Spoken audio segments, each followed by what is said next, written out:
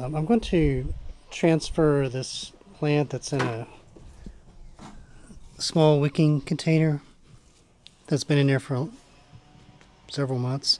And it's plant's gotten pretty big as you can see. It's even putting out fruits and it's supposed to be a lightning mustard hab but it but are these really nice chocolate pods so I saved seeds and this is what this is from is those seeds and I finished my batch of holy basil. So I'm going to reuse this 10 gallon tote. And I took off the the mesh. The um, hoping the, the roots in a passive system should grow straight down. Um, not interfere with this. I even move it over probably maybe to this hole. Um, so anyway so I'm going to use this tote with the float valve that's already installed and this will hook to this five gallon container I may increase the size of this later, but for now, that's fine. Um, so I just added about three gallons of water. I'm going to mix in about three teaspoons of this Floranova Grow using this Mix Master to measure from Pepper Donkey. Both this and the Floranova, as well as some other things, uh, just recently got from Pepper Donkey, so I'm putting this to use. So this has been getting master blend and I've got water in there right now trying to flush it out a little bit switch it over to the Floranova so I'm gonna go ahead and uh, mix this up and then we'll try to cram the roots in through one of these holes and then I'll just probably put some aluminum foil or something over the rest just to block the light out. Uh, let's go ahead and um, do that and we'll go ahead and get this mixed up and get the plant set up okay so I'm gonna shake this up really well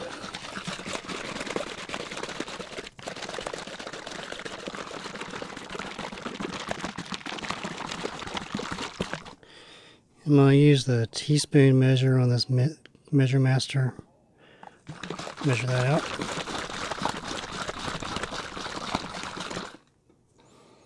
It's really thick stuff here. There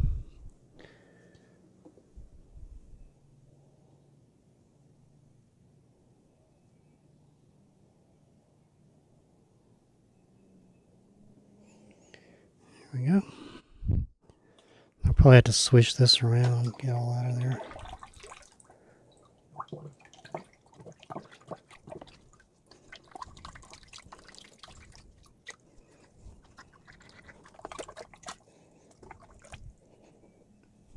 There we go. Stir that up really well and I'll do a quick nutrient strength test and pH test.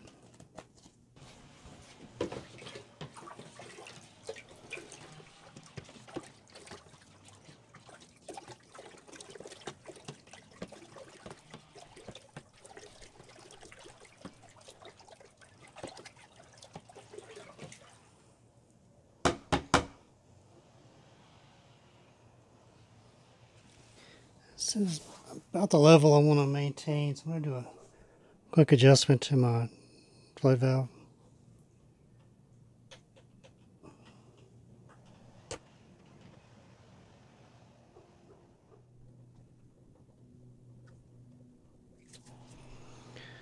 Okay, all right, let me uh, get my nutrient meter.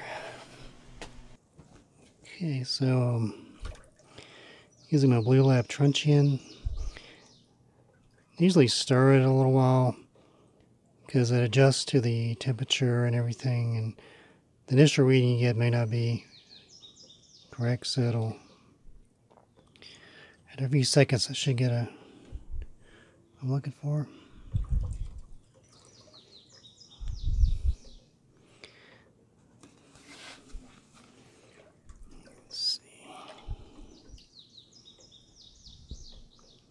So it's between six and seven hundred, which is about exactly what I was going for. It's a good strength for passive hydroponic setup. Okay, um, check the pH next.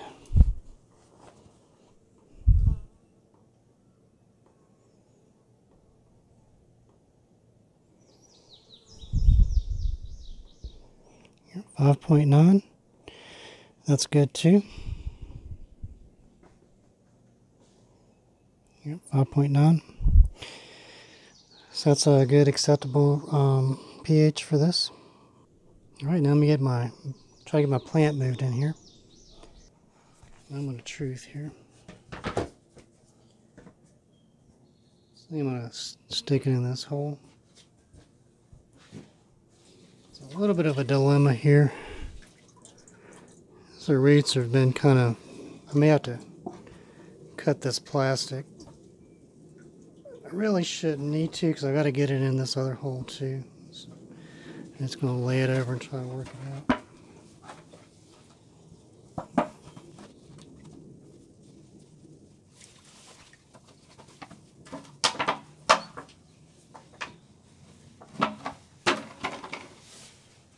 I got it out. I'm going to run to the water hose and rinse this off real quick, then I'll be right back.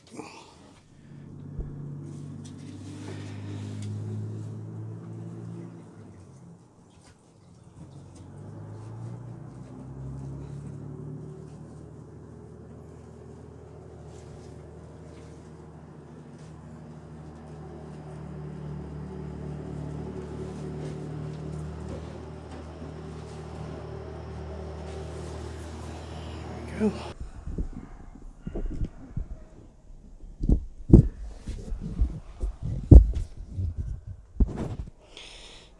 it's in it's in there now. I'm to scooch this up by the railing, probably tie the plant to the railing or kind of wedge it up in there a little bit so to have some support. And I'm going to put some aluminum foil, cover this up so I'm going to fill this with nutrient solution and I've got a lid, snaps on a black lid that'll keep that clean and algae free. So let me get this all positioned and I'll show it to you one last time. Okay, so got everything set up. There's the plant, um, got everything covered and got the reservoir filled up. I'm going to show that's actually snapped on there pretty tight.